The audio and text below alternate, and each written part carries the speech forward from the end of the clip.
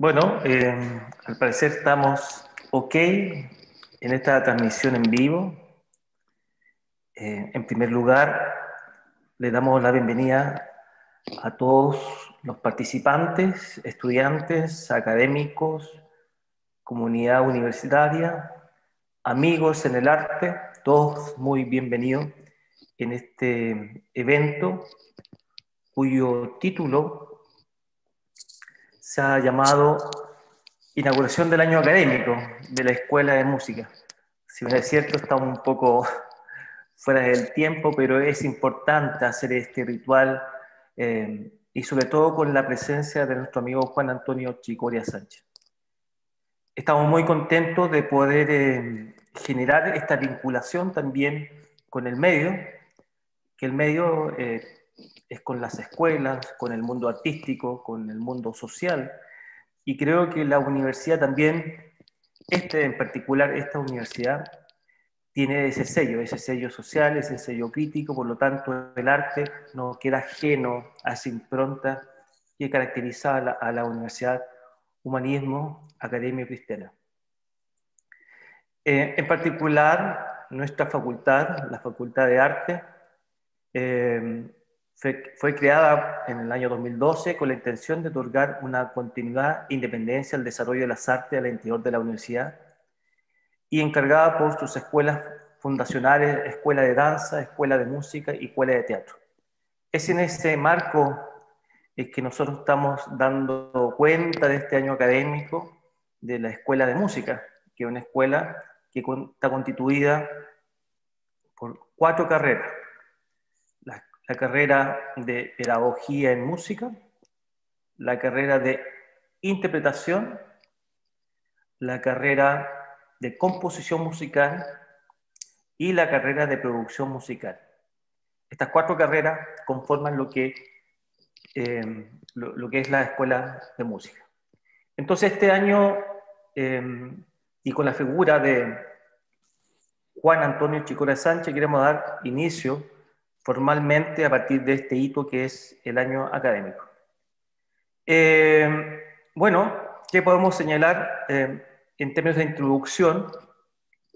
Eh, nos complace la presencia de Juan Antonio por su trayectoria, por su condición humana y por el referente musical que nos inspira a nosotros como escuela de música.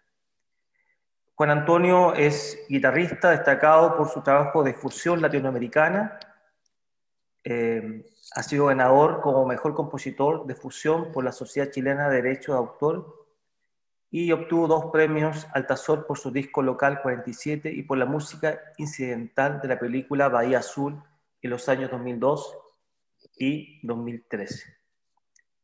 Em, entonces, en esa condición de una, de una persona, de un artista que reúne varias características, intérprete, compositor, un tipo extremadamente brillante e inteligente en, su postura estética y también como investigador. Y eso eh, redunda eh, en una aportación formativa hacia nuestros estudiantes y también hacia una lógica de extensión y, de diálogo con la comunidad que nos acompaña. Eh, te damos la bienvenida, Juan Antonio eh, Sánchez, pero primero eh, voy a presentar a Raúl, que es nuestro maestro de ceremonia.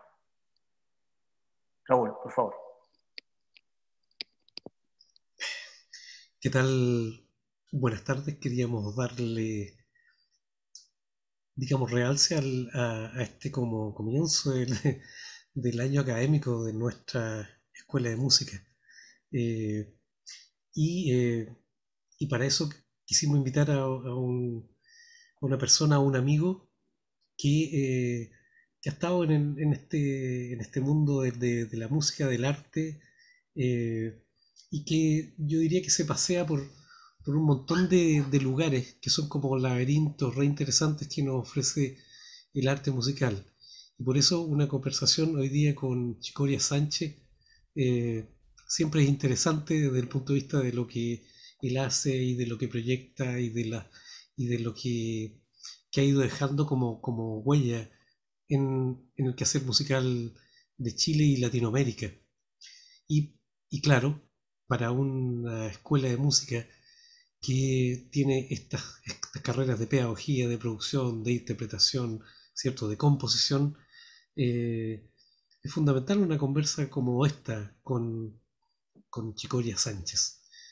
Así que eso es un poco lo que es la idea de hoy día, tener una conversación en torno a esos, a esos mundos y recorrer, como, como dice uno de sus libros, eh, recorrer ese laberinto de, de Juan Antonio Sánchez.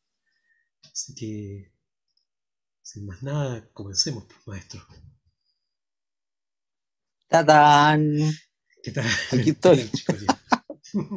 Hola, oye, oye, quiero eh, agradecer en primer lugar la invitación, eh, en segundo lugar las palabras, las palabras de Raúl, las palabras de Mario, voy a tener que aplicarme para, para decir cosas muy inteligentes y brillantes, porque, este, para no quedar mal con ellos, ¿te fijas? Así que no, pero hablando en serio, muy contento y con esta invitación, así que vamos, adelante, salud.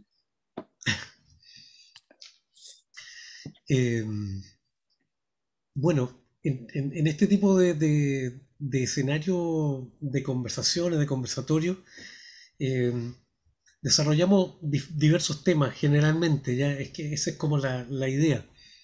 Y eh, quienes se vayan sumando a esta transmisión eh, pueden ir eh, haciendo las preguntas que las va a ir recibiendo ahí Marisol y al final de esta conversa quizás poder ver también preguntas o las opiniones que, vaya, que vayan cayendo ahí de las personas que están que van ahí participando de esta, de esta conversa. ¿sí? Entonces, bueno, junto con darte la bienvenida, Chicoria, Em, un poco eh, hablar de esos laberintos de, la música en donde tú estás y te mueves. Eh, nos pareció a nosotros pertinente por eso, porque tú estás en la composición, estás en, los elementos, fundamentalmente se conoce como un compositor en el mundo de la guitarra. Y entonces, por ende, también como intérprete, ¿no? Como especial intérprete. Pero tú tienes publicaciones y discos, entonces por lo tanto hay una producción detrás que, tiene que ver con cómo se difunde, cómo está, eh, cuál es el, artefacto que hace que esta música vaya por diferentes lugares, ¿cierto?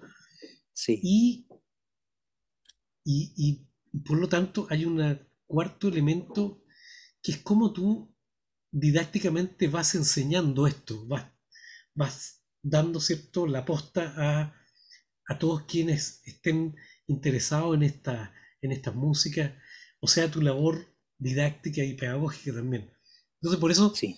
creo que es re interesante una conversa porque tiene, tiene varias aristas que nos pueden llevar a, muchos lugares bien, bien recónditos y muy interesantes por lo demás. Entonces, eh, eh, para comenzar, digo por, por, una parte el laberinto que tiene que ver con, con algo que, eh, que dice en, en, tu libro Divagaciones de la, música latinoamericana. Sí. Y con eso hacer una, una especie de, no sé, provocación para empezar, ¿cierto?, esta conversa, ¿no? Me gusta, me gusta. Eh, sí. Dice, comillas, eh, la historia de un compositor es la mía, pero fundamentalmente de un compositor tocador. Eso me relaciona con los músicos populares. Si consideramos popular a Gismonti, a Hermeto Pascual, a Piazzolla, al flamenco, al jazz. ¿Soy un compositor popular? ¿Qué soy? ¿Qué es un músico popular?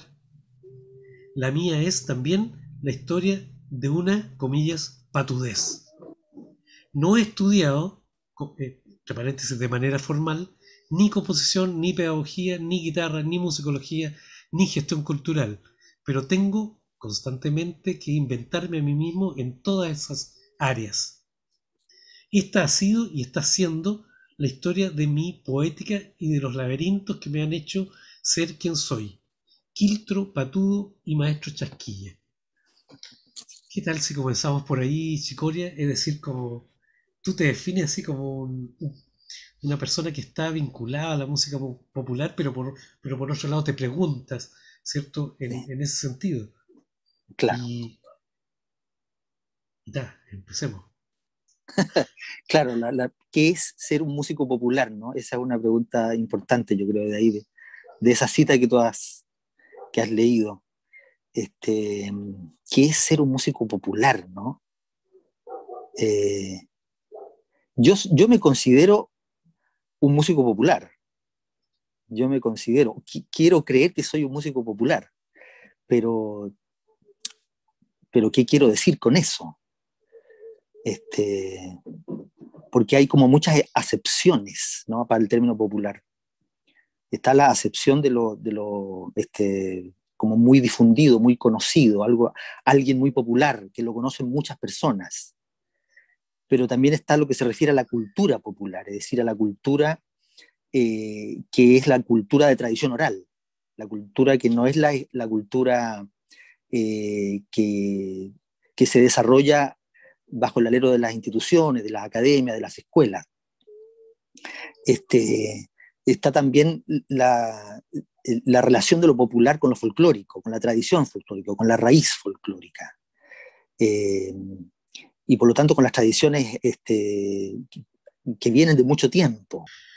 Estábamos hablando de, de, cómo, ¿cierto? cómo tú te autodefinías, ¿cierto? Como un personaje que está en, en el ámbito de la, de la música popular, cómo se define un, músico popular, en términos ciertos de tu actividad como, como compositor. Sí, sí. Yo decía, claro, yo decía que, que, que, yo quería creer que me definía a mí mismo como un músico popular, ¿sí? Que, este,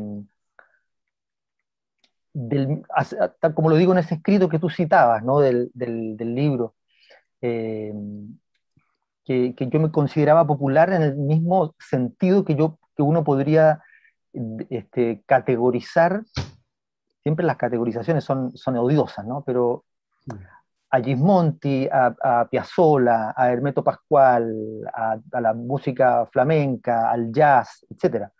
En, ese sentido, yo, yo me considero un músico popular, ¿no?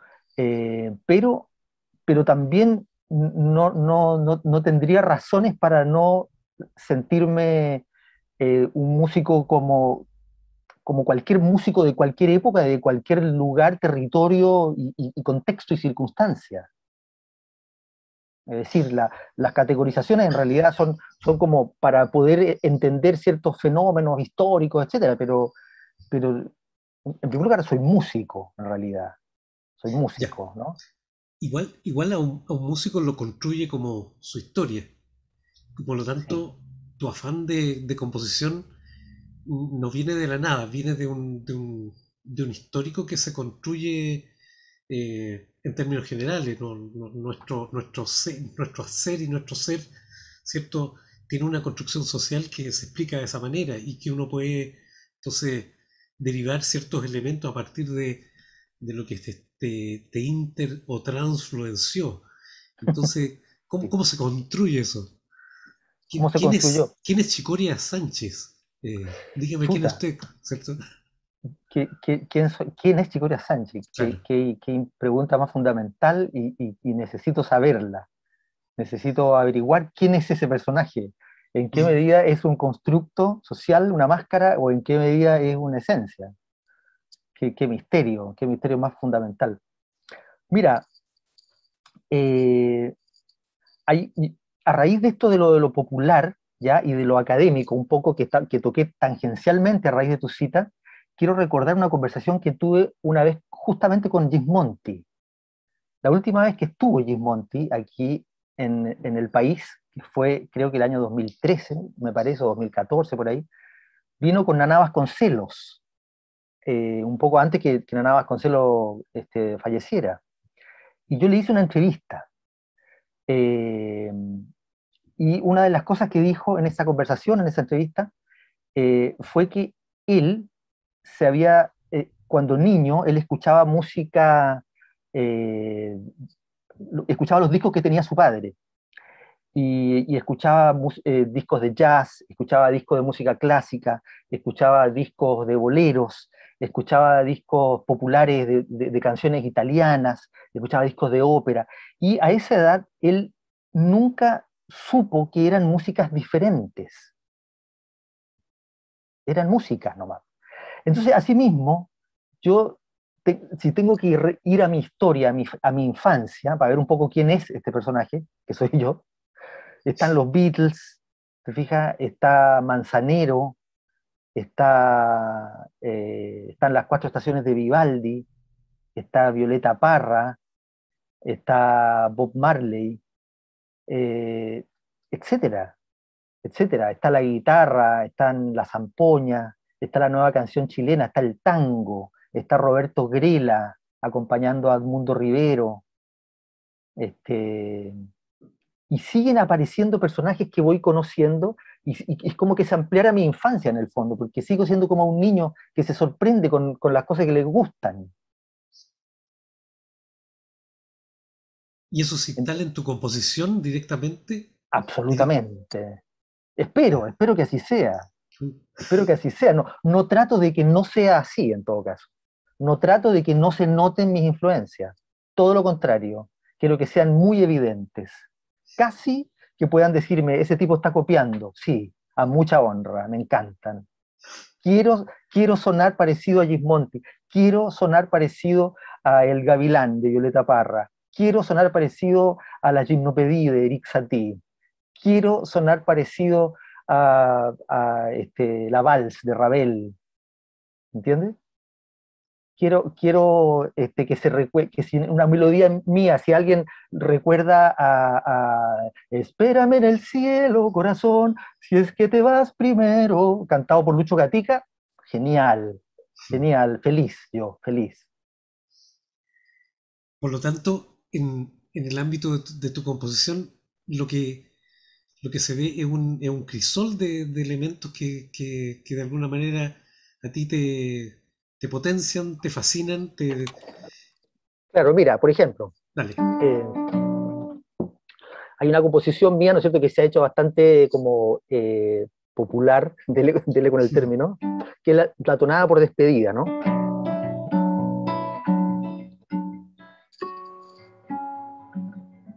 ¿Sí? Sí. Sí, ok. Eh, eh, yo no he sabido nunca de su historia. No es, que, no es que yo haya pensado en eso, pero uno podría encontrar la relación, ¿o no? Claro. Y después, fíjate, cuando en el, en estribillo.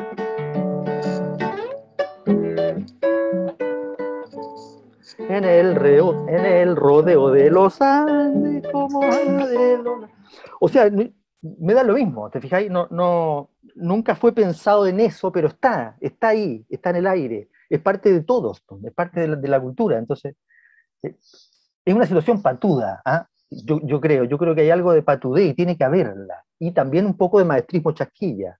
Es como que esto, esto me gusta, esto está, esto me llega aquí y, lo, lo, junto, lo organizo y esa organización me, dice algo, me hace sentido, entonces la comparto. Tú, en algún momento, sí, sí, totalmente.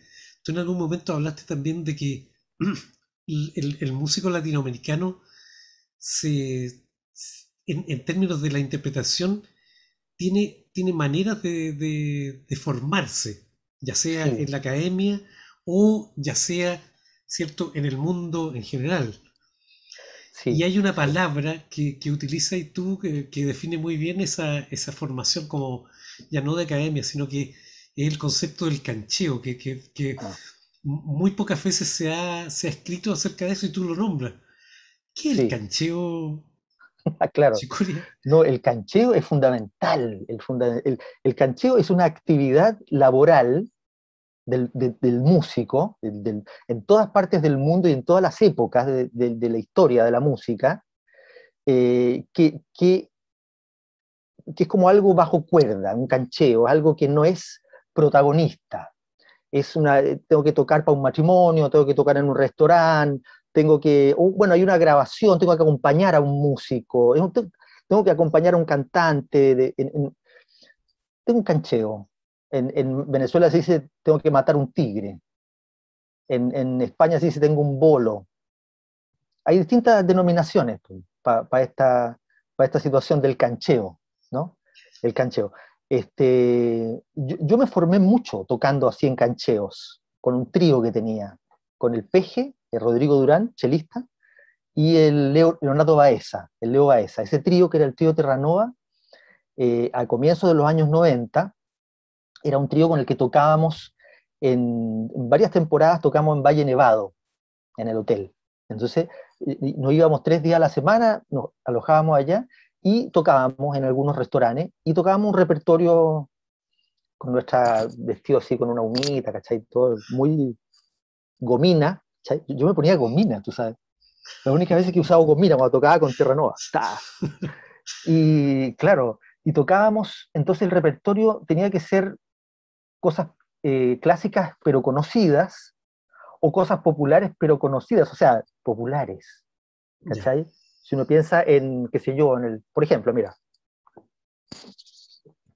Eh,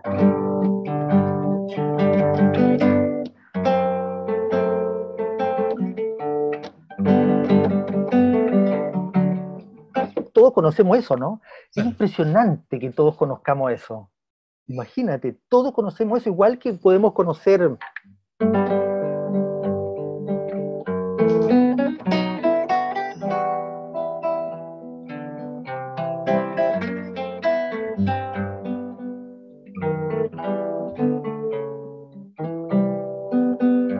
también conocemos eso. Entonces, uno, uno, es de Mozart, el otro es de Lennon McCartney, qué sé yo, de, de, de, Lennon en realidad, o sea, perdón, de McCartney. Pero son, son, entonces, poder tocar eso, teníamos que tocar, o sea, nosotros elegíamos ese repertorio, pero eran cosas clásicas, cosas románticas, este, cosas populares de tipo estándar de jazz, eh, repertorio, no sé, Edith Piaf, por ejemplo, Frank Sinatra, eh, eh, por supuesto, todo lo que era la nueva canción chilena, y en fin, distintas cosas, lo que viniera. Y la idea era poder tocar lo que nos pidieran. O sea que el cancheo también es, un, es, un, es una muestra también de la diversidad que debiera tener un músico, un intérprete en, lo, que podríamos definirlo así. O sea, debiera haber una... Sí, por un lado, como dices tú, por un lado, como dices tú, un conocimiento, ¿no es cierto?, de conocer un repertorio, pero también de tener como la cachativa de que si no lo conoce exactamente, lo, puede inventar un poco. Correcto. ¿Cachai? Como que algo lo recuerda, ya, listo, démosle, vamos, vamos. Y patudamente puede sonar totalmente distinto, pero se tira a la piscina el tipo y arregla con el alambre la fuga de gas, arregla el, cable y se enciende la luz de nuevo el maestro Chasquilla. Entonces, eh, claro, el cancheo es la posibilidad también del, oído, ¿cachai? De, tocar de oído, de sacar del desarrollo del oído. Y eso es esencialmente musical. Eso es lo más esencial, esencialmente de la música, es el oído, es cachar que, que, uno puede reproducir lo que recuerda, lo que escucha, lo que se le ocurre, lo que el otro canta, es agregarle otra, es saber armonía es saber armonía de una manera intuitiva, del mismo modo como sabían armonía los guitarristas Humberto Campos, por ejemplo, o Ricardo Acevedo, los, músicos que acompañaban, que, trabajaban en, el, rubro, por ejemplo, de la, de, la industria musical de los años 50 y 60, ¿no? y que trabajaban en sellos de grabación y que se juntaban ahí y entonces hacían la introducción de la joya del Pacífico, por ejemplo, ¿no? ¿Cachai? O, la, introducción de, tonadas o qué sé yo, o contigo en la distancia, todas esas introducciones que son emblemáticas, que ya las escuchamos y son parte de la memoria colectiva de la nación, se hicieron ahí un rato antes, como cancheros, tipos cancheros que inventaban y tenían que hacer algo, era una pega, ¿cachai? Y así se, hicieron, se hizo mucha música. Y eso tiene que hacerlo un músico. Y eso es algo que en la academia como que se ha ido perdiendo, yo creo, un poco. Como que se ha ido perfeccionando una pulcritud, un cuidado en, el sonido que está muy bien, que está maravilloso, que el sonido tiene que expandirse, tengo que tocar fuerte para que me escuchen la última fila, todo eso está perfecto. Pero la otra cosa que es como de la fogata y del guitarreo, es parte esencial de una cosa latinoamericana, y yo pienso que universal, pero por lo menos latinoamericana. Yo me junto con otros músicos latinoamericanos y podemos guitarrear. Correcto. Sí. Eh, yo quisiera decir que, que, que, tú haces una revisión re interesante porque nos nombraste unos músicos que quizás, bueno, eh, no nos suene muy, muy inmediatamente. Pero yo quiero decir que cuando, cuando vi tu, libro de las divagaciones de la guitarra desde la música latinoamericana, eh, yo pensé que era un libro que en donde relatabas tu, tus vicisitudes de, una, de la vida del músico, pero, pero en el fondo eh, yo, yo lo quiero recomendar porque es un libro en que tú haces una revisión súper importante, súper importante de los, de los grandes guitarristas, intérpretes latinoamericanos. Así que como estamos aquí eh, haciendo como un, una, inauguración del año académico, ¿no? Eh, para, para, toda la gente ¿cierto? Que, gusta de, este repertorio y va buscando, ¿cierto? Va buscando los hilos, las hebras que lo construyen, ¿cierto? Ahí, en ese libro, ¿cierto? Divagaciones desde la música latinoamericana, ¿ya?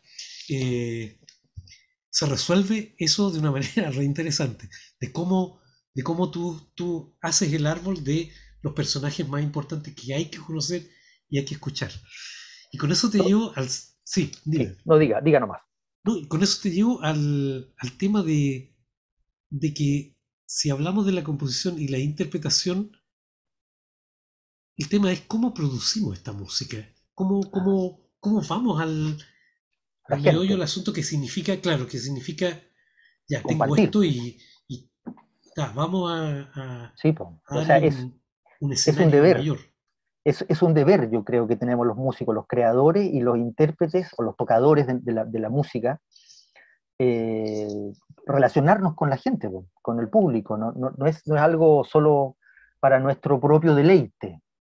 Lo es, ¿ah? en todo caso, lo es. Parte de ahí, parte de un deleite, de, un, un goce, la música, y yo creo que la creación en general parte, parte de, puede ser también de un dolor, de un sufrimiento. Puede, puede ser también un dolor y un sufrimiento, pero ese dolor y ese sufrimiento también son un deleite, porque son el deleite de la creación, de dar con algo. Pero luego tengo que transmitirlo, tengo que compartirlo, si no, no, tiene sentido. El, el, digamos, yo, yo pienso que el arte es, es esencialmente eso, es compartir, ¿no? Recuerdo a Violeta Parra, cuando la entrevistan de la televisión suiza, entonces le dicen, si usted tuviera que elegir uno de los, de, los múltiples, de las múltiples actividades que realiza como artista, cuáles son este, la música con el canto, eh, las arpilleras, eh, la pintura, etcétera, etcétera, ¿con cuál elegiría quedarse? Y ella dice, yo elegiría quedarme con la gente. ¿Cachai? Porque no, o sea, no responde exactamente lo que le están preguntando, sino que hace una respuesta mucho más grande. O sea que en el fondo, claro, lo importante es cómo, entonces voy a tu, voy a tu, a tu, a tu invitación, digamos, de, conversación, que es cómo hace uno para transmitir esto y compartirlo, tiene que producirlo, tiene que producir el, el hecho que esto se comparta para allá, o bien contratar a un productor, digamos.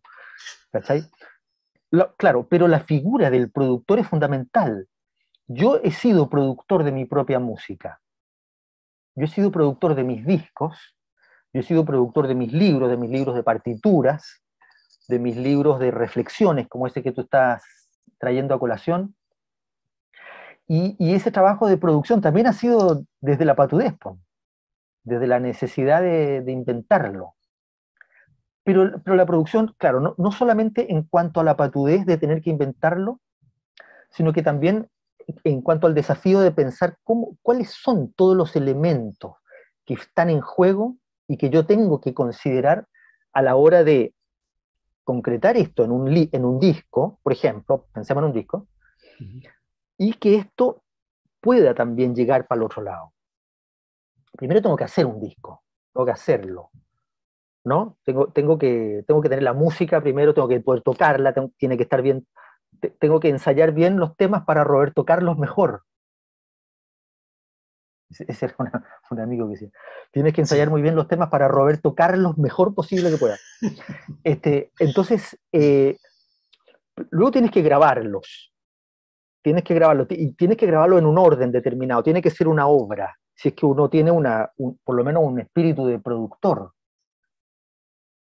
Ese es un detalle importante, porque uno puede decir, ya voy a hacer una colección de temas, y esa colección no tiene ninguna gracia. Cada tema a lo mejor es interesante, pero un, disco, yo siempre he considerado que, claro, un disco es una, es una obra, es una obra total, independientemente del, ímpetu conceptual, ¿cachai? Independientemente de Sgt. Peppers. Pensemos, eh, un disco es una obra. En las últimas composiciones de Violeta Parra empiezan con Gracias a la Vida, ¿cachai? Así empiezan, imagínate. Y, uno sigue, y todo lo que va siguiendo es un, es un viaje. Además, en esa época había dos lados, lado A y lado B, ¿no? Y era importante con qué terminaba el lado A y con qué empezaba el lado B. Exacto. Entonces, todas esas cosas uno las va pensando después, bueno, pero ¿dónde, cómo hago para grabar esto? Tiene que sonar bien también, ¿no? No es, no es secundario como suene. Yo, me, yo, yo quiero mencionar a dos personas que han sido como muy importantes en mi historia, en la producción de mis trabajos, por ejemplo. Uno es nuestro queridísimo amigo a quien le mandamos un cariño al cielo, Gerardo López. Por supuesto, sí. El Gerardo me, grabó, el, eh, grabó tres, cuatro discos en los que yo participé. Primero grabó el disco de Terranova, que fue el primer disco que yo hice como profesional, que fue un cassette en realidad, con un, con un fondo, un fondart, eh, año 94, un fondart del año 94. Eh, después, eh, el Gerardo, con el Gerardo grabamos el primer disco de Entrama, año 98, y después grabé mis dos primeros discos solistas, el, Local 47 y Soy Obré. Y lo traigo a colación porque todos esos discos, y en especial los discos míos, solistas, eh, no habrían sido lo mismo sin la presencia, la reflexión y la inteligencia del Gerardo para plantear la totalidad de la que estoy hablando. La totalidad. Muchas, muchos este, logros como artísticos de ese, de ese disco son este, el resultado de, propuestas de Gerardo. ¿Cachai? Pero obviamente que él tenía esas, eh, hizo esas propuestas y yo acepté que las hiciera y, por lo tanto yo estoy digamos, ahí está mi parte, fíjate como decir, ya, juguemos juntos, eh, juguemos juntos. Es una, una, actitud a jugar juntos, ¿no? Y, decir, y yo siempre he, participado en, en, proyectos como muy colectivos y en donde la conversación y el diálogo es fundamental. ¿No? En trama es un ejemplo este, esencial de esto que estoy diciendo, porque siempre estamos conversando de lo que cada uno propone. Y, entonces ese toma y daca, eh, que yo pienso que también es muy latinoamericano, eh, ese peloteo, ¿no es cierto? esa, pichanga, eh, ha, sido muy importante en mis producciones, en el caso de mis producciones. Por ejemplo, mira, en el primer tema de Local 47, que se llama Presagio, es un tema para, para guitarra y cello y percusiones. En realidad es para dos chelos, guitarra, dos chelos y percusión. Eh, y cuando grabamos los dos chelos, que los grabó el guaso Gutiérrez, el Cristian Gutiérrez, al Gerardo se le ocurrió, dijo, oye, ¿por qué no doblamos estos chelos? Dijo, idénticos, que los toque de nuevo. Ya, pues, entonces, fue una idea del Gerardo esa. Y después de eso, a, raíz de esa propuesta, nos dimos cuenta que al final quedan todos los chelos en una misma nota. Entonces, al Gerardo se le ocurrió, oye, empecemos a, proponer que ahora el, guaso empiece como a mover las notas, para un lado y para el otro. Y, él empezó a moverla. Y entonces lo que a mí se me ocurrió fue que siga moviéndola hasta que llegue a la octava, hasta que se encuentren al otro lado. Y, es, y, esa cuestión e, es, un producto de una propuesta del Gerardo. Entonces, cuando tú me mencionabas lo de la producción, para mí fue fundamental la figura del Gerardo López en la producción de estos discos, porque lo veíamos en su totalidad y también en los detalles. Este, fue, fue muy importante mi hermano Tomás para lo que era el diseño, por ejemplo. Entonces, eh, son piezas, piezas fundamentales de ese, puzzle también que es la producción. De ese, puzzle, por supuesto. Y eh, en el segundo disco también lo grabó Gerardo y yo también quise que fuera mi hermano Tomás el que se encargara de la cosa visual porque es un equipo de trabajo en el que uno siente que hay algo que, se está, que, que, que, llegó a algo. Y la otra persona que quería mencionar de mis otros discos solistas, de mis otros tres discos solistas, es el Alfonso Pérez, del estudio Madre Selva, el otro sonidista, ¿cachai? Que también ha hecho propuestas fundamentales en lo musical, propuestas de él. Entonces, ese diálogo para mí es muy importante en lo que es la producción. Por lo menos ahí he hablado de lo que es hacer el disco, ¿no? De grabarlo, hacerlo, ¿no? Después está, bueno, digo, ¿cómo hago yo para esto? Y ahí para mí ha sido muy importante en mi historia eh, las, los fondos, digamos. Para, a, mí me han servido y me han ayudado muchísimo los fondos de la cultura, de los cuales también soy bastante crítico.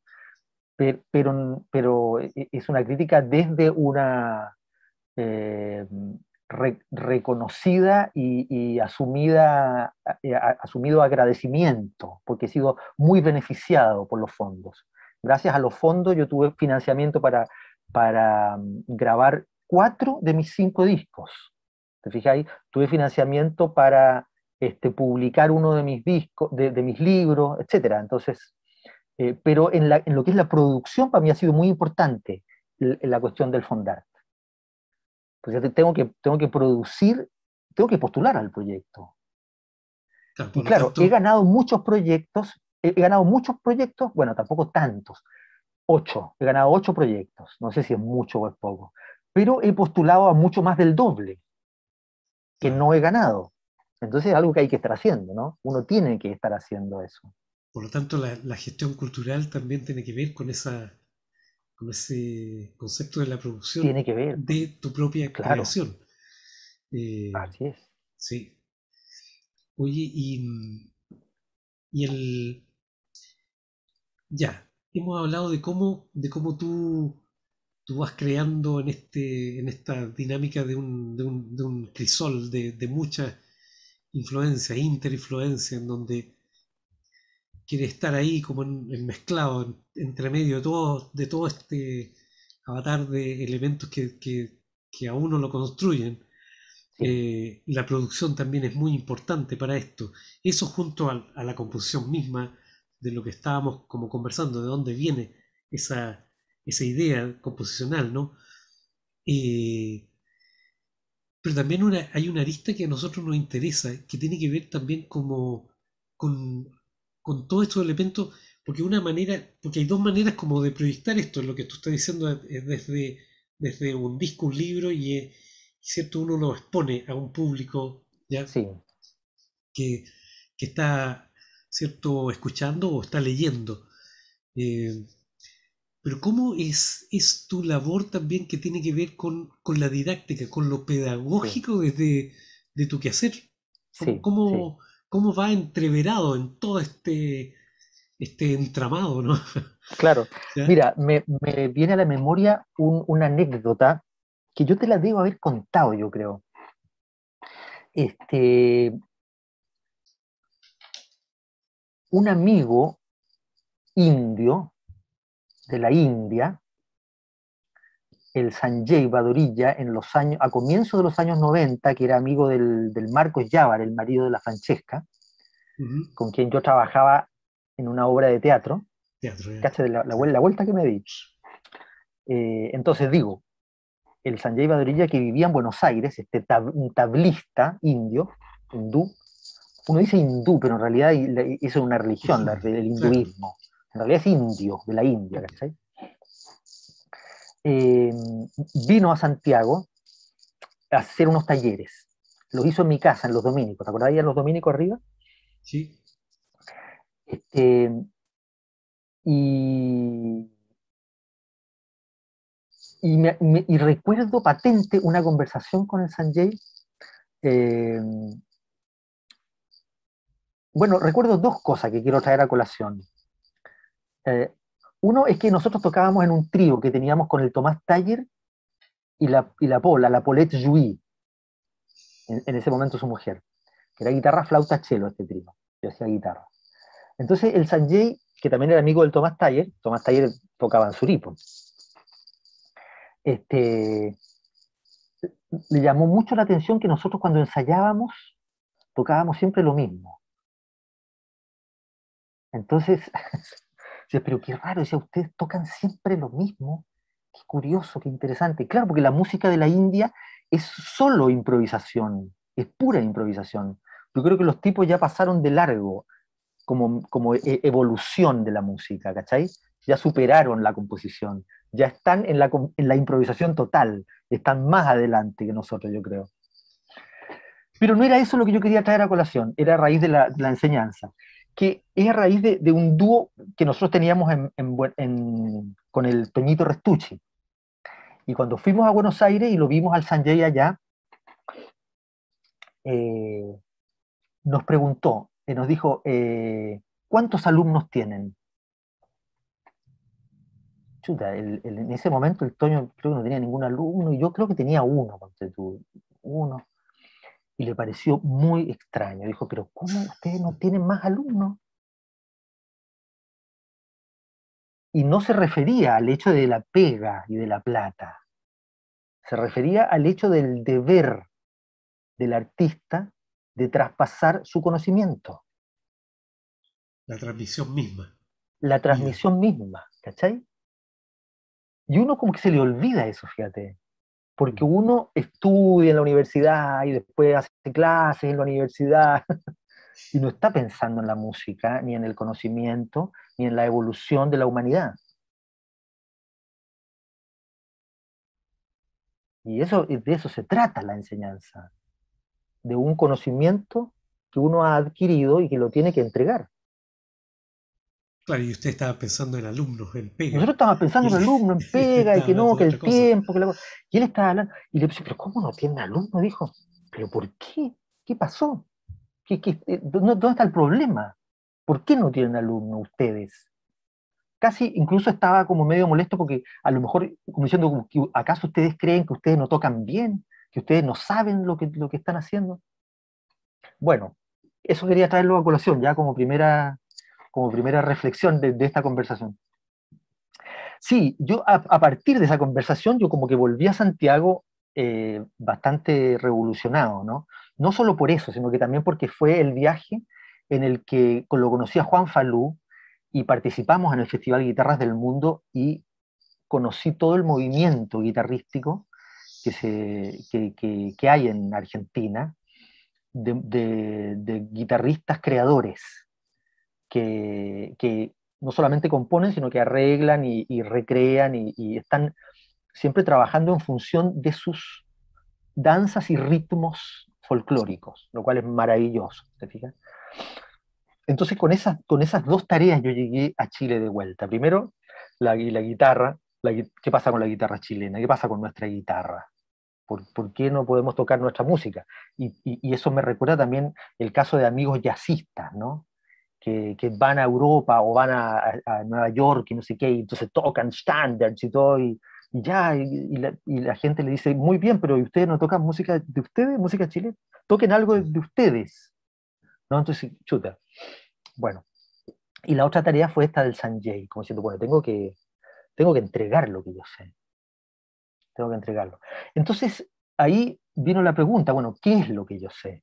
Porque además, como, como tú bien citabas antes en el texto, yo no he estudiado formalmente, no, o sea, yo estudié una licenciatura en música, en la cual fuimos compañeros de, universidad en los años 80, pero después no continué con la, especialización ni de composición, ni de ritmo auditivo, ni de musicología, ¿cachai? Como que todo lo que yo he desarrollado ha sido producto de, la patudez y de, una necesidad interior, de un fuego interior que, que tiene que salir. Entonces, me, me pregunté, bueno, ¿qué es lo que yo sé? ¿Cómo hago para enseñar lo que yo sé? Tengo que primero saber lo que, lo que sé, lo que sé. Entonces, eh, un, un, guitarrista que actualmente vive en Berlín, el Rodrigo Santamaría, que era alumno mío en, en los, al comienzo del año 2000 en la Escuela Moderna, eh, me dijo, me preguntó cómo se enseña la, la armonía en la guitarra, cómo se puede hacer para enseñar armonía en guitarra.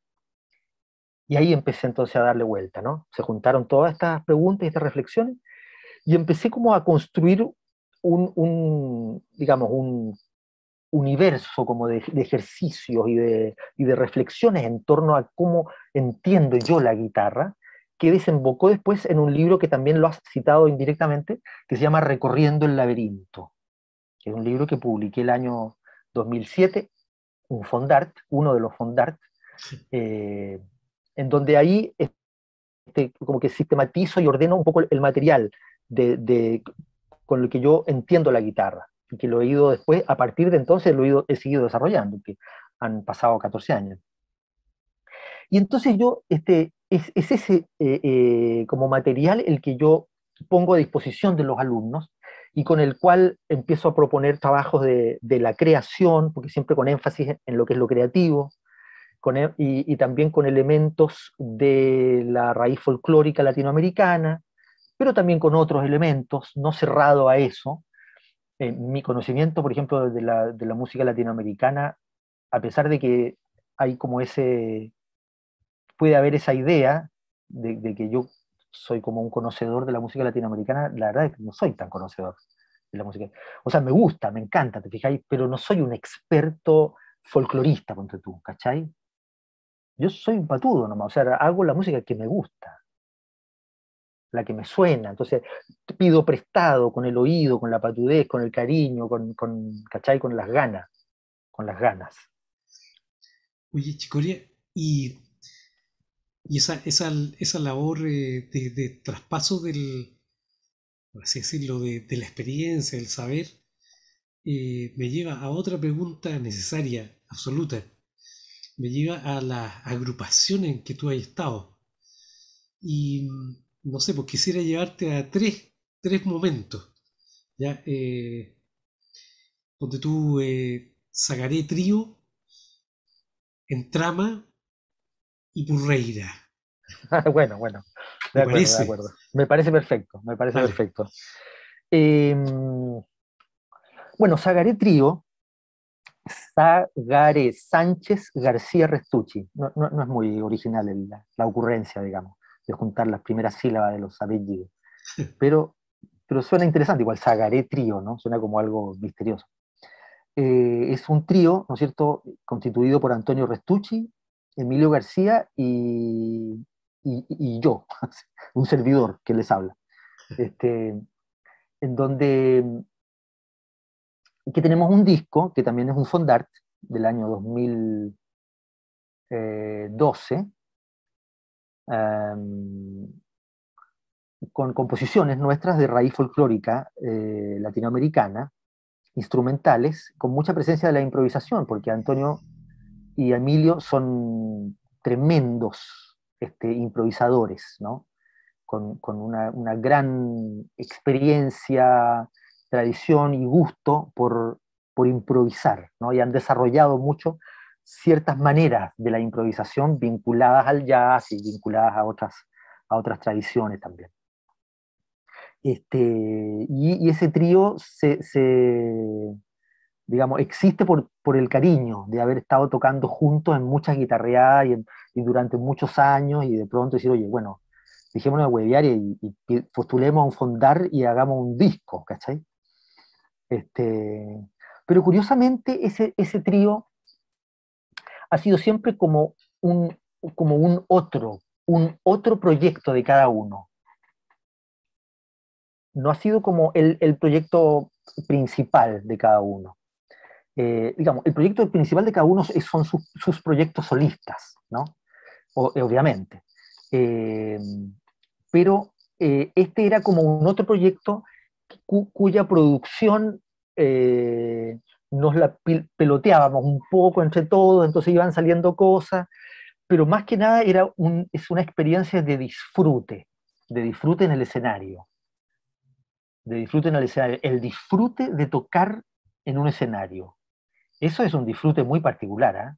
es el disfrute del tocador, porque hay que hablar, cuando uno habla de distintos roles como músico, compositor, tocador o intérprete, eh, yo prefiero tocador, fíjate, más que intérprete. Igual tocador raro, pero porque intérprete es como que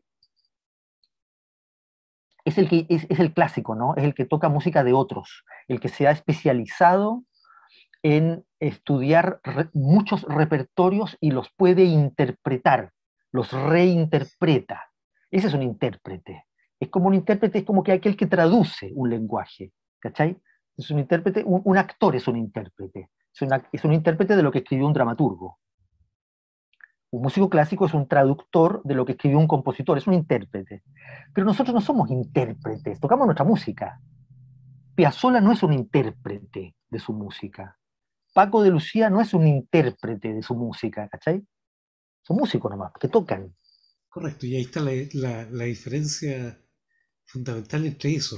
Claro, eh, entonces, espérate, entonces, eh, lo que te quería decir en el fondo no era que dentro de los distintos roles, que está el del que toca, el del que compone, eh, el del que, bueno, el del que, el de que compone y el del que arregla, eh, el, rol del que, del que enseña, el rol del que, de que a lo mejor transcribe, etcétera, son distintos roles, son distintos disfrutes.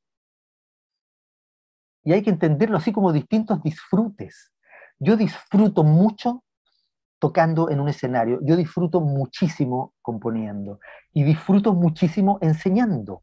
Me encanta enseñar este, este material que, lo ordené y, ir proponiendo ideas y viendo cómo los estudiantes de pronto enganchan y agarran su propia idea y sacan su idea.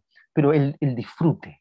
Entonces, el eh, Trio es un ejemplo de disfrute en el escenario sobre todo, porque el misterio que hay, lo que va a ocurrir en ese momento de la improvisación, es, es, mágico, pero uno, no sabe lo que va a pasar. Entonces nos cagamos mucho de risa cuando estamos tocando en escenario con, con, con el Emilio y el Toño.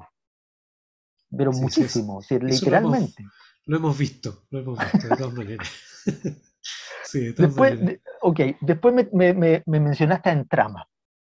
Y sí. Bueno, en trama es, este, claro, el, en trama es la, concreción de un sueño que yo, que yo tuve durante mucho tiempo y, lo fui alimentando y finalmente lo, se materializó. Se materializó, pero era un sueño. Yo creo que era un sueño compartido de muchos que coincidimos en materializar ese, mismo sueño. Era un sueño de, un, grupo grande, eh, que, abierto, abierto de mente, abierto de estilos, abierto de géneros, en, específico como de música instrumental, con, con a lo mejor con, con este, orígenes musicales más o menos similares, pero también sanamente distintos, ¿cachai? Para, para poder aprender de los compañeros. Porque si solo nos juntamos admiradores de Gismonti, ya, bueno, está bien. Pero yo me junté en Entrama con admiradores de Ralph Towner, a quien no conocía, con admiradores de Pat Metheny, ¿cachai? Con admiradores de Yapu, este, y yo, y yo aporté lo mío, mi, mi gusto por, por, bueno, por Gismonti, a quien ya he mencionado, por Carlos Aguirre, por el Toñito Restucci, por, este, por Inti Gimani, por Horacio Salinas, por la nueva canción chilena, eh, por la guitarra latinoamericana, Agustín Barrio Mangoré, Leo Brauer, Antonio Lauro. Eh, y entonces nos juntamos eh, los admiradores de todas estas músicas y empezamos como a, a jugar. ¿no? Entonces hay algo lúdico muy importante en el trama por un lado, una cosa lúdica, y por otro lado hay una cosa que es muy hermosa, muy única, que tiene que ver con, una, mm, este, eh, una manera de trabajar que no es piramidal, que no es jerárquica piramidal, sino que, que es colectiva. es tribal, es de respeto mutuo. Somos jugadores que no hay un jugador más importante que el otro. Son distintos roles, ¿cachai? Pero todos son la naranja mecánica. Holanda, año 74, ¿cachai? Sí, por supuesto. Sí. Entonces es la concreción de un sueño, ¿no? de un sueño de, de, imaginar músicas que hemos ido haciendo y, y, es un sueño que se ha renovado. Además, yo estuve fuera de Entrama muchos años, volví y volví con muchas ganas, entonces como que se renovó un, un, un cariño, un cariño y un gusto por, por este, hacer música juntos, por crear música juntos. Eso quería traer, a colación con Entrama. Bueno, y en Entrama hemos, hemos como estado ahí conversando acerca de sacar, sacándole un poco el rollo a ese, ese concepto del, del trabajo colectivo que ustedes tienen instalado hace años. Pues, y, y bueno, podemos decir que que por ahí va a salir algo de eso en algún va a salir momento luego, ya que viene, este, se está cocinando ahí un, ñaca, ñaca, una cosita. Ñaca, sí. Exacto. Oye, y, pero, pero antes de y Purreira, pero lo que pasa es que antes de hablar de Purreira, eh, yo quería mencionar también un, aspecto importante en el caso de Entrama, que te, que te, que te involucra a ti, Raúl, y por lo tanto a la Jenny también, eh, que es el hecho de que parte fundamental de, este, de este colectivo musical tiene que ver con las experiencias cariñosas, con las experiencias y los, y los momentos de encuentros cariñosos, ¿cachai? Y la cantidad de guitarreadas que hicimos en tu casa, en aquellos años en que estaba comenzando el es fundamental, es fundamental, es parte, es, es, como parte de la sangre de Entrama, ¿cachai? Y de la memoria más esencial, porque, porque así se hizo en trama, al, calor de esos cariños, no al calor de la partitura y hoy el contrapunto, a ver, hagamos una retrogradación, que también, ¿ah? También es muy entretenido, la retrogradación y, darse cuenta de todas esas cuestiones, maravilloso. A mí me encanta el contrapunto, ¿cachai? es un goce, es un disfrute también. Yo entiendo el disfrute de Bach y de Mozart y todo, porque, porque es una maravilla, es un juego, como una especie de ajedrez que, existe en el tiempo, y, invisible y tal. Pero eh, la cosa del cariño, eso te lo quería, te lo quería traer a, colación, ¿no? Eh, bueno, y Purreira, que es lo último que me preguntas, qué manera de hablar el tipo, ¿no? O sea, le dan una cuerda y el tipo, pobrecito, no, no, para. No, Purreira es ¿no? no, es que de repente me van a decir, oye, sabéis que ya no hay nadie, se fueron. Son las 3 de la mañana, ya listo, terminemos. Si, son las 2 y media, ya chicos, ¿le quieres parar? Este, Purreira es, es, es como una especie de gran lado B, un gran lado B eh, que yo no, no, no, tenía contemplado, pero que siempre había existido, que era el lado del, del, del juego de lo lúdico, de los juegos de palabras, de los chistes, de, del disfrute con los niños, del disfrute con mis hijos, y, este, y, de, decir, de, decir, tonteras de una manera tierna, cariñosa y ridícula, eh, y de enseñar también cosas de esa manera tierna, ridícula y cariñosa. Entonces eh, empecé a hacer canciones con mi hija Eva primero, con el Raimundo cuando estaba más chico, qué sé yo. Eh, entonces después vivía yo en España, cuando llegué a, en un viaje a, Chile, de, haciendo una gira, se me ocurrió empezar a cantar estas canciones entre medio de un concierto, ¿cachai? Que yo estaba haciendo solo. ¿Te acordáis en la Isidora Seger? Sí, sí, tú fuiste, pues sí fue, fue claro. Y, este, y empecé a cantar esas canciones, pues, el tren de los animales, el, el caracol gruñón, el canguro fix, el cuento confundido, qué sé yo. Para reírme nomás, si era, si era un hueveo.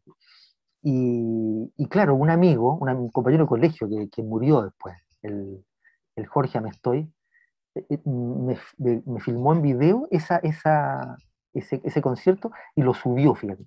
Y mucha gente empezó a ver esos videos, el caracol gruñón, el tren de los animales y todo, son las primeras. Y de repente me di cuenta, bueno, parece que aquí hay algo, ¿no? Como que parece que esto le gusta a la gente y a los niños, y entonces, y, empezó a, generarse una expectativa y una cuestión, y bueno, decidí finalmente ya asumir esta cuestión, este llamado, esta invitación, y lo hicimos un, hicimos un disco, que, con arreglos y con la participación de muchos amigos músicos, como un gran, una gran guitarreada, una gran tertulia hecha disco, este, y, ahí y eso es eso es un, universo increíble de, que, con la posibilidad de enseñar a los niños cosas eh, que, son importantes y que son entretenidas al mismo tiempo. ¿Como, qué cosas le está enseñando ahora a tu hijo, por ejemplo? Está bueno, esto casi, casi que lo tuviéramos ensayado. Mira, esta este es una canción inédita, ¿ya? Esta es una canción inédita que todavía no tiene nombre, pero son, son la tabla del 2, del 3 y del 4. Ya vamos a ver si me acuerdo, así que tengan, tengan un poco de, ¿cómo se llama?, de compasión.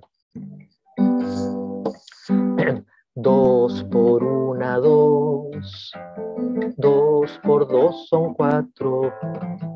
2 por 3 son 6. 2 por 4, 8, me como un bizcocho. 2 por 5, 10. 2 por 6 son 12. 2 por 7, 14. Y 2 por 8, 16. ¿Cómo la veis? Me como un pez. Jaque al rey. Son 16. 2 por 9, 18.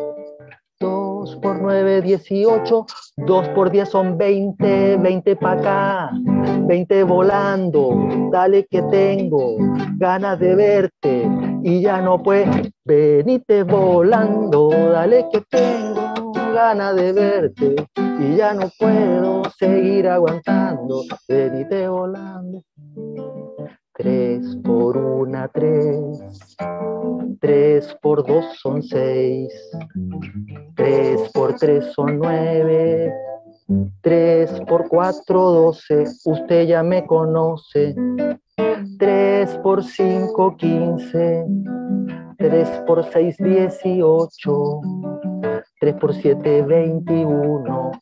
Y 3 por 8, 24. Vamos al teatro. Vuela un albatros.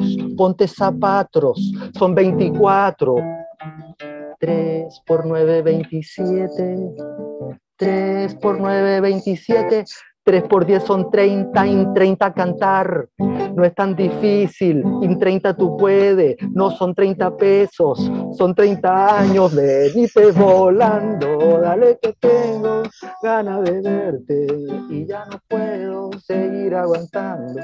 Venite volando. 4 por 1, 4. 4 por 2 son 8. 4 por 3 son 12, 4 por 4, 16, no me molestéis. 4 por 5, 20, 4 por 6, 24, 4 por 7, 28, 4 por 8, 32, rezo por vos, me da la tos, y en la calle codo a codo somos mucho más que dos, son 32. 3, 4 por 9, 36. 4 por 9, 36. 4 por 10, 40, la cuarentena. Ponte la mascarilla, tilin, tilin, tilin, tilin. Venite volando, dale que tengo ganas de verte. Y ya no puedo seguir. Qué bueno, qué bueno. Eh, eh, ¿Cómo se llama? ensayo de esa nueva canción, maestro. y esa se la enseñas al, al, Inti para pa la claro, de multiplicar, pues, ¿viste? Claro, y ya se la sabe, ¿te, te, cachai? Entonces cuando, cuando uy, ¿cuánto era 4 por 9? 9, 36, 36. Claro. Eh, oye, bueno, estamos Qué, buena textura, qué, ganas de, tener como varias, como varias series de esto y ir, ir agarrando más temas, ¿no? Parece que Pudiera ser, ¿no? Que parece que por ahí va la cosa. Por supuesto. O sea, nosotros siempre hemos pensado hacer programas de radio, ¿te acordás o no? Sí, sí, Hace rato que venimos con, con, ese, con ese sueño, así que de pronto hay que, hay que transformarlo. Esto, ¿cachai? Mm. Sí, pues por aquí, algo de aquí tiene que transformarse en esto. Sí, sí. Y nosotros invitar a distinta gente y mm. todo, claro. ¿Cómo andas, Mario? ¿Cómo andamos con el, muy, muy, estamos súper bien, muy, muy interesante eh, las discusiones eh, y conocer eh, tu mundo, tu, mundo creativo, ¿cierto?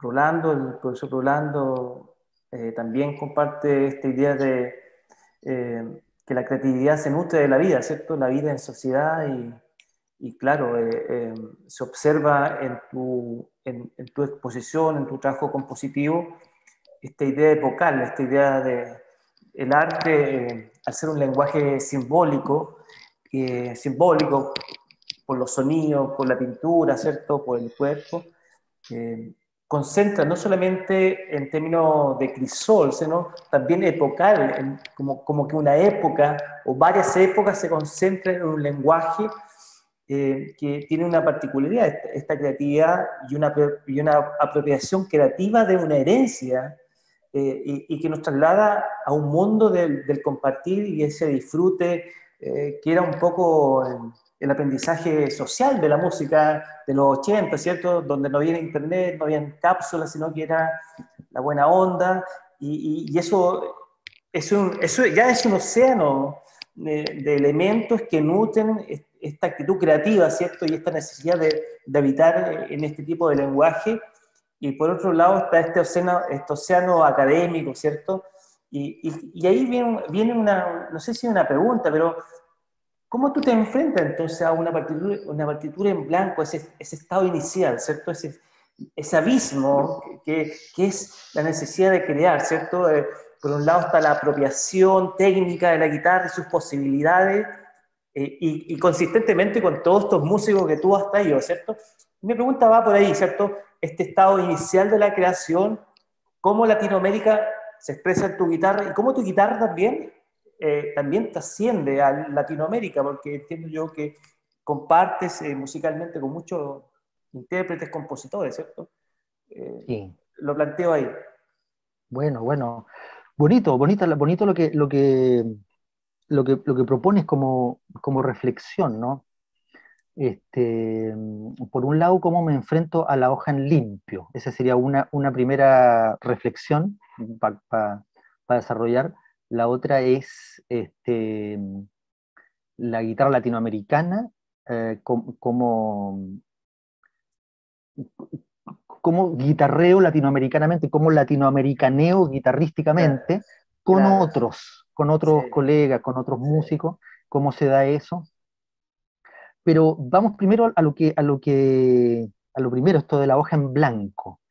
Eh, claro, en rigor no suelo enfrentarme a una hoja en blanco. Yo, sé que es una metáfora, pero, pero igual no deja de ser interesante quizá mencionarlo. Eh, yo generalmente eh, trabajo con la guitarra. Trabajo con la guitarra. Eh, juego con la guitarra. Juego, digamos, que son como que mis composiciones, por lo menos las composiciones para guitarra, obviamente, salen mientras eh, estoy jugando, mientras estoy tocando guitarra, mientras estoy revisando otras cosas o estoy tocando.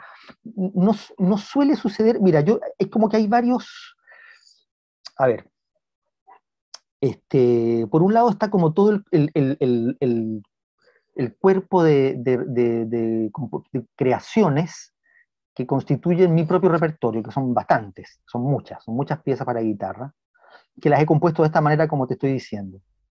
Eh, jugando, tocando, mirando el techo, qué sé yo, pum, y de repente me sorprendo con algo que me gusta y, me, como que me, casi no lo estaba buscando sino que él como que me hubiera buscado a mí. Entonces me, sorprendo y lo sigo tocando y, empiezo a amasarlo. Es como un, trabajo de amasar una, una, harina, un pan. Entonces, eh, para que no se me olvide, porque supongamos que tengo que ir a, comprar algo, no sé qué, entonces me grabo en el celular. Esa idea, me la grabo. Listo, ya, y ahí parto y me voy. Y vuelvo, escucho eso y ahí la retomo y sigue esa cuestión, ¿cachai? Eh, hasta que eso, como que eso se apodera de mi, de mi persona y finalmente mis manos lo modelan y por lo tanto esa pieza está delimitada por las capacidades técnicas de mis propias manos. ¿Ya? Esa es una manera. La otra manera es cuando intérpretes de guitarra clásica, por así llamarlos, me comisionan, me encargan música. O bien cuando yo mismo me he encargado música. ¿De qué manera yo me he encargado música? Antes, hace, no sé, 15 años, eh, existían en el, en el Fondart uno de los ítems a los que uno podía postular, era solo a un, a un proyecto de creación. Entiendo que ahora no, tiene que tener algo más. Pero antes uno podía postular solo a un, proyecto de creación. De hecho, yo me gané dos Fondart solo de creación, con uno, uno el año 2004 y el otro el 2009. Con el primero yo compuse una sonata para guitarra, que es un homenaje a Violeta Parra, dedicada a José Antonio Escobar, el guitarrista, quien después lo grabó en, un disco para el sello Naxos, un disco que se llama Guitar Music of Chile. Eh, entonces compuse en ese primer fondart este homenaje a Violeta Parra, una sonata de cuatro movimientos, y también compuse un cuarteto de cuerdas. Y eh, después, el 2009, también me gané un proyecto de creación con el cual compuse un par de dúos para guitarra dedicados a Romilo Orellana y Luis Orlandini, quienes después lo, estrenaron, y compuse también una suite, suite Víctor Jara se llama, dedicada al guitarrista Marcelo de la Puebla, que, es chileno radicado en Sevilla. Este, entonces, en esos casos, ahí sí me enfrento un poco a la hoja de papel vacía o a la guitarra vacía, porque tengo que componer algo determinado. Entonces, ya sea que me lo han encargado, por ejemplo, las variaciones que le hice sobre qué pena siente el alma, que se le hice a, a Romilio Orellana, un, ciclo de siete variaciones, también me las, me las encargó él. Entonces, ahí no podía estar yo distraído mirando el techo y ver qué se me ocurría, sino que estaba buscando algo. Entonces, como otro el, el punto de partida. Pero en, en, en ambos casos estoy la guitarra. Pero en el segundo caso, las ideas que van saliendo las anoto. Y entonces empiezo a trabajar con la partitura también, con las posibilidades de las partituras, ¿no? En el otro caso es, es para mí, entonces por eso me filmo la mano, etcétera, y voy jugando yo con mi mano, con mi sonoridad, con mi repertorio. Pero en el otro estoy dándole cuerpo a una obra que, por un lado, como no tiene la limitación de, de mis manos, de la técnica de mis manos, sino otra, otra, otra técnica que, que, yo decido que es muy superior a la mía, entonces no me, no me, no me limito, eh, entonces la escribo, ¿cachai? Entonces pongo, puedo poner más énfasis en, en elementos de repente del, contrapunto, de la polifonía guitarrística. Um,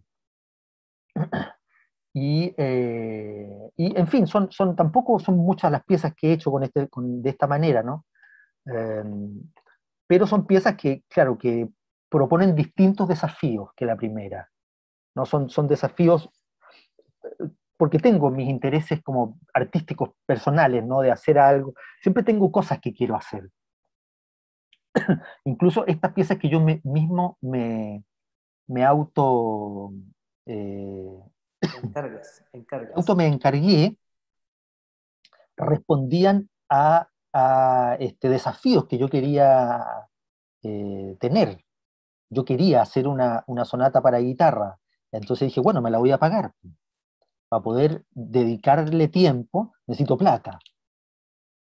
Entonces voy a postular a un fondo para poder pagarme este trabajo y, y, y no quitárselo a otras cosas, a las clases o a no sé qué. Tengo que dedicar tiempo para hacer esto.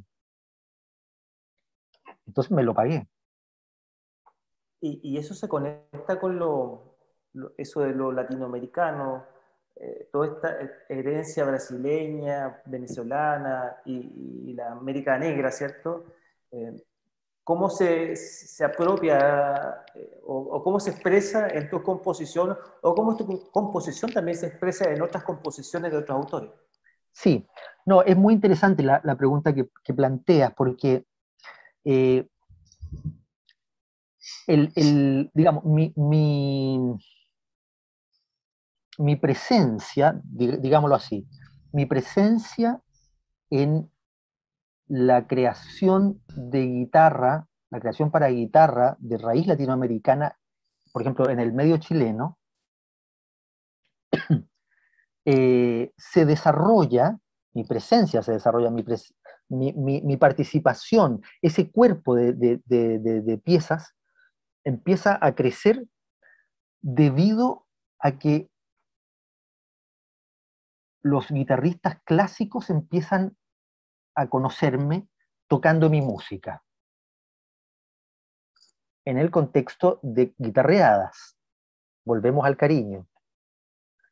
En la casa de, mi querido amigo luthier peruano Mateo Calvo, quien vivía en ese momento en Vitacura, este, se realizaban muchas tertulias, eh, a la que íbamos con el Toñito Restucci, a las que iban músicos distintos, el José Recart, este, el, el, Elian Ortiz con trabajo, eh, y, el Romilio Orellana y el José Antonio Escobar, guitarristas. Entonces, ellos, año 2000, me escucharon en una guitarreada tocar la tonada por despedida y la chiloética, entonces me dijeron que querían tocar eso. Entonces yo yo lo igual lo había estado escribiendo, porque tenía la práctica de escribir y porque había estudiado en la licenciatura y porque me interesaba también el, el, desafío de la escritura guitarrística, cómo resolver ciertas cosas y qué sé yo, como una cosa personal. Pero cuando me lo encargan ellos ya no es solamente una cosa personal, ya es algo social, ya tengo que resolver algo para que otros lo traduzcan. Entonces ahí empieza un nuevo rol mío, que ya no es el de, o sea, que es el mi música, pero ahora la traspaso a la, partitura, y eso es un desafío. Porque, ¿cómo hago para que ellos hagan sonar lo que yo estoy tocando con la onda que, ya estoy, que yo estoy tocando, con el rasgueo de la cueca? ¿Cómo hago para definir un, un arpegio que en realidad lo estoy improvisando? ¿Qué hago? ¿Les pongo a ellos improvisar arpegio? No, pero no puedo porque son músicos clásicos. Tengo que escribirles todo. Entonces, así empiezo yo, entonces así se empieza a generar un, universo de trabajo para mí, ¿cachai? Que es el de, el de hacer música, porque ya me empiezan a, encargar también. Entonces ahí entro en esta, en esta historia y en este dilema de decir, bueno, ¿cómo hago para hacer música que se pueda escribir, que se entienda su escritura y que cuando otros la toquen se escuche lo, lo folclórico, la raíz folclórica, etcétera. Es, es una, una, eh, digamos, es un, desafío que, que no, no, termina. No termina porque yo no suelo quedar muy satisfecho con, con mis escrituras. Pero las leen. Y de hecho la tonada por despedida se lee en muchos lugares del mundo y, y, otras piezas también. La sonata para guitarra la tocan muchos este, me han mandado, me han enviado versiones a mí de, de, mis músicas para guitarra, músicos polacos, alemanes, este, gringos, y suenan interesantes, Claro. Eh, pero están presentes también en Latinoamérica mi música, bastante presente parece ser. Tanto en músicos clásicos como en músicos de otros, de otros universos. ¿no? Hay una versión que hizo este, hace algunos meses Yamandú Costa con su mujer, con la de Elo Boni, de la tonada por despedida. Mm. Este, y ahí volvemos al cariño, porque hay un cariño con Yamandú, hay una guitarrea, muchas guitarreadas entre medio, y conocer esta música en ese contexto. Eh, no, sé si respondí con eso a lo de la hoja en blanco. No, no, a mí me, creo que esto aporta mucho a nuestros estudiantes de composición, a, este desafío, eh, este atreverse, ¿cierto? De, es como la escritura, pero también más que la escritura es el habitar en ese tipo de lenguaje, que, que, es diferente a los otros tipos de creación, tal vez, del mundo de las ciencias sociales.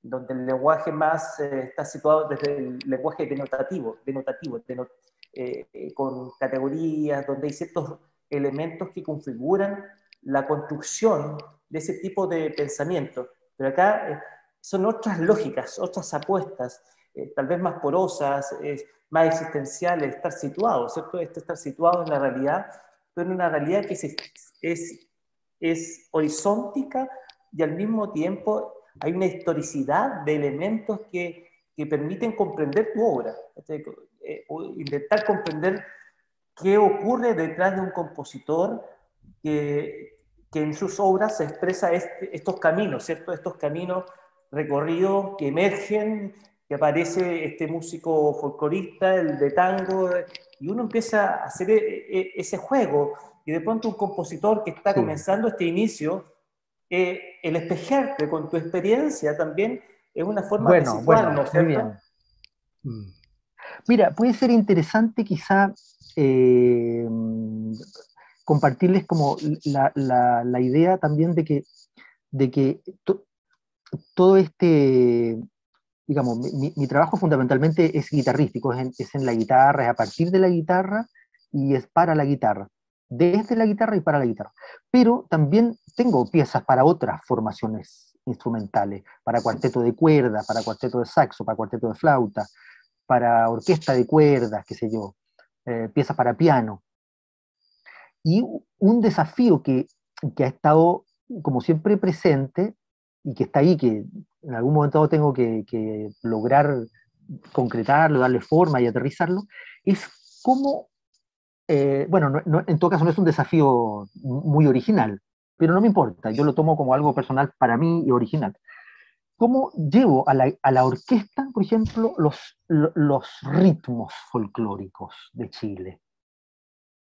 Y que suene, digamos, que no suene una cuestión empaquetada, que, suene, que suene la cosa viva, que suene la cosa, eh, que, que suene el swing, que suene el sabor, que suene el, duende, que suene el recutecu del, del, del, ¿cachai? del baile, del baile, ¿no? Tranca, tan, chicun, chucu, chuchun, chun,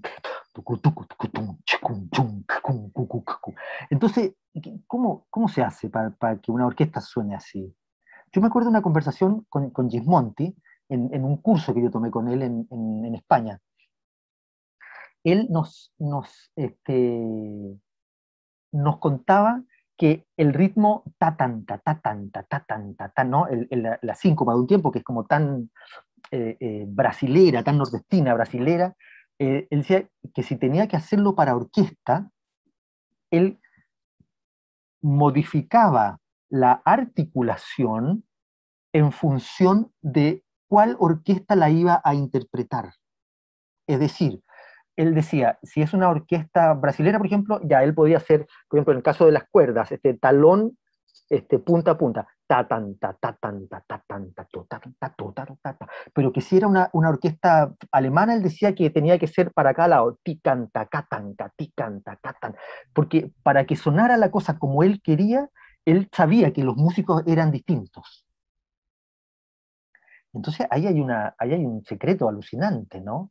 que la cosa no es que la música sea una cosa, digamos, la escritura, el lenguaje de la escritura sea como algo científico, inamovible, objetivo, ¿no? O sea, e, es un, es un lenguaje que traduce una serie de universos que requieren de una, de, una reflexión personal. No, no, es solamente traducir, no es un robot, ¿cachai? No es una cosa de un robot leyendo algo. Yo, encuentro muy interesante eso. Entonces, ¿cómo hacer ese rancatum, o sea, para mí lo ideal sería que, que esa orquesta o ese grupo musical de cámara, lo que sea, estuviera integrado por músicos que yo conociera y que supiera que tienen la onda del folclore. Por ejemplo, si tengo que citar a un chelista que haga folclore, pues lo voy a citar al Guaso, porque el Guaso Gutiérrez es de Melipilla, toca acordeón, toca la manera con la que toca la, la onda, con la que toca el, el, ritmo folclórico de la cueca, es alucinante. Entonces, a, ojos cerrados con él y a oídos abiertos. ¿No? Eh, eh, eso, Esa era una cosa que quería como compartir también, ¿no? A raíz de, lo que, de esto que estábamos conversando. No, muy interesante en el chat también eh, dan cuenta de la riqueza, nos solicitan que después de esto se traduzca un podcast, ¿ya? Ah, bueno. claro. Y bueno, y, por otro lado está el tema de la producción, pareciera ser que tu creación también se alimenta de estas fases desde el momento inicial, inaugural, ¿cierto? De esto nuevo a, a, lo que termina en el sello, ¿cierto? Entonces esa ruta tiene como diferentes momentos y fases que tú nos has permitido visibilizar, que, que sin duda es, también parte de este cuento. Genial. Sí, yo, yo, yo quería decir nomás que el, esa demanda de, de la identidad del, del, del, músico latinoamericano y en especial chileno, eh, de alguna manera misteriosa la obra tuya, Chicoria, en toda su dimensión, junto a otros músicos, eh, de alguna manera se hace cargo de ese problema, del problema de que cuando, cierto, de que nosotros como músicos de, de este último rincón de Latinoamérica, de este rincón isla, cierto, estamos eh, de alguna manera condicionados a unas múltiples influencias y, y hemos hemos sido depositarios de muchas interinfluencias y claro, nuestra mirada no ha sido como para adentro, sino que siempre ha sido como, como mirando lo que nos llega y valorando ese, ese, tema, ¿no? Yo creo que ahí, hay, claro, eh, se puede hablar mucho tema, pero lo concreto es que tú te estás haciendo cargo de una cosa bien interesante, de cómo, eh, de alguna manera, yo creo que cuando los músicos, ¿cierto?, de concierto, músicos de la talla del, del Romilio, ¿cierto? De cierto personajes importantes, ¿cierto? Que giran tocando, ¿cierto? Interpretando. Eh, yo creo que se hacen cargo de una pregunta que le hacen afuera. Sí, y que es la pregunta típica. Oye, tóquense algo de, de, de dónde, dónde vienes tú. A ver, tócate alguna cosita. Sí, sí. ¿Cómo, claro. ¿Cómo, es la cultura de ustedes? Claro. ¿Cómo es la música de ustedes? Sí. Un poco y, ese es un tema no menor al, al, visualizar ¿cierto? Nuestra, nuestra cultura musical en, en, lo que nosotros hacemos, en lo que nosotros tocamos, lo que nosotros valoramos de repente. Eh, pero ahí hay un punto importante como, como de, de ese de rescate de la identidad. Y, eh, y claro, hoy me parece interesante también el, el cómo, cómo, cómo va a sonar esa, porque va a sonar, ¿cierto? esa orquesta. Esa cueca, esa orquesta, quiero escucharla antes de morir. Bueno, la, Laura, la Laura tiene que estar ahí en esa orquesta. O sea, ¿cachai? Porque la, Laura, o sea, la Laura ha, escuchado desde niña, eh, la Laura es la hija de, Raúl, ¿eh? Ha escuchado desde niña este, la, música en la guitarrea, en la casa, entonces está, eh, por los poros ya le, está llegando esta esencia, esta esencia de lo popular, de lo, de, de lo chileno y de lo uruguayo, por ejemplo, ¿cachai? Claro. Y ya eh, creo que estamos, creo que ya nos pasamos, ¿cierto? Ya nos pasamos. Mario. Estás en silencio, Mario. Oficialmente casi dos horas ya. Eh, y ha pasado muy rápido, porque esto es como, cuéntame más de tu, vida, es, como agregarle vida a nuestras vidas. Yo creo que ese es un acto pedagógico, ¿cierto? De hacer una expansión de conciencia y, y, creo que por ahí va un poco la labor pedagógica eh, y tratar de después compartir este material, que es un material también didáctico, porque queda en no solamente en, esta instancia, sino que también en nuestra escuela, compartirlo también con nuestros amigos de ADEMUS, de esta agrupación de, de, de escuelas de pedagogía y música, eh, también, que hace un trabajo importante en las escuelas, y, ver también que detrás de esta pasión eh, hay, hay elementos creativos de, exploración, de exploración de un niño extendido en edad, ¿cierto? Pero tiene esa actitud de exploración natural de las posibilidades en este juego creativo, ¿cierto? Eh, y que por un lado eh, hay un disfrute estético, pero también hay un desafío intelectual, artístico, estético, que, satisface los paladares de mucha gente. Entonces, eh, eh, eso es eh, bastante interesante poder poner acá en términos de visibilización. Eh, hay un juego, pero también un juego bien serio, ¿ya? Un juego bien serio y que puede alimentar y, y, seguramente va a haber alguien acá que es guitarrista y va a encontrar en ti una figura en tus obras, ¿cierto? Un alimento para poder nutrir y, y, y atreverse a, a, dar ese paso eh, en, ese, en, esa coordenada que es la coordenada Z, ¿cierto? En ese espacio del sentir la necesidad, ¿cierto? Sin ningún... Eh, sin ninguna una malla de, de, contención de seguridad, sino que es la necesidad de habitar eh, ese espacio creativo, que en tu obra se ve claramente la riqueza epocal, como lo había señalado, y, y, y también esto de lo latinoamericano, cuando la categoría es, muy, en las ciencias sociales es una, una, categoría muy cuestionada, pero eh, uno no entiende que el guitarreo es un latinoamericano desde abajo, así, desde, desde la emocionalidad, ¿cierto? No desde la categoría conceptual, sino desde abajo, de los caminos, de, de los encuentros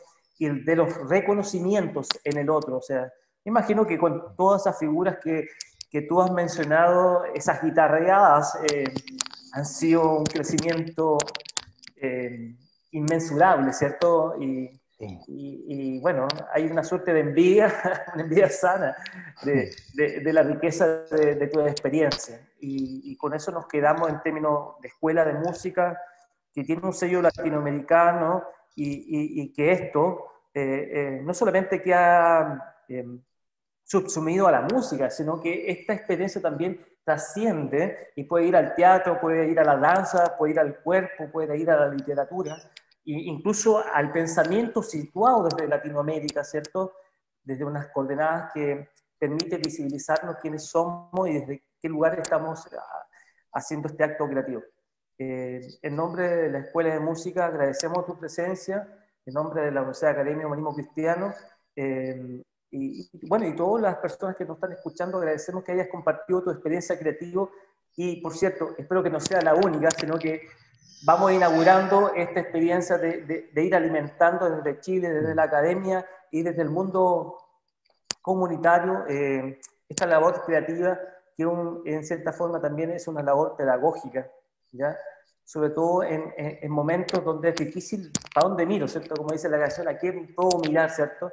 Y creo que en tus obras, en tu ejemplo creativo, compositivo, eh, eh, es muy, muy eh, grandioso esa experiencia de poder tener ejemplos, como en la 80, que uno tenía claro los músicos, ¿cierto? Y, y hoy en día, bueno, hay nuevos lenguajes, nuevas escuelas, y creo que tú sigues patudamente, como dices tú, ¿cierto? De, ¿Qué hay acá, ¿cierto? Abrir esa ventana en blanco y ver que en esta oscuridad hay ventanas al campo, creo que como le dice el poeta, ¿cierto? Estas ventanas al campo, que es una oscuridad que se aclara, ¿cierto? Pero a veces estamos acostumbrados a partir de cierta claridad, y no todo es claro.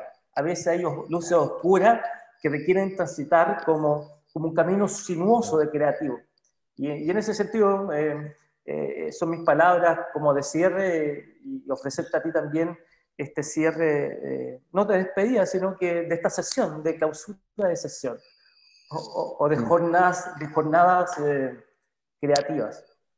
Y bueno, el maestro de ceremonia es Raúl Suavo. yo creo que nos vemos en, quizá un, como dice el, relator, en una próxima oportunidad, ¿no? ¿Cierto, maestro? Por supuesto, nos vemos en una próxima oportunidad. Con algún invitado, alguna, algún amigo, ¿cierto? Genial, por supuesto. Pudiera ser como inaugurando esa idea loca que hemos tenido hace años. Sí, sí, sí. sí. Capaz de la oportunidad. Así es. muchas, gracias, por la invitación. No, gracias por A mí ha sido muy entretenido, muy entretenido, encantado. Este, sí, estuvimos un rato largo. Yo también pensé que podía haber como preguntas de la gente, pero yo ya estamos. Sí, como que. ¿No es cierto? Sí, está bien. Oye, un abrazo gigante, un abrazo gigante. Gracias por la invitación. ojalá, que, ojalá que los, los estudiantes, las estudiantes, que, este, que esto les sirva un poco, no sé. Va a servir mucho, vamos a. Sí, sí, va a estar por ahí dando vueltas. Va a estar dando vueltas. Buenísimo. Bueno, un saludo cordial a todos y gracias por la atención dada hacia este evento. Muchas gracias.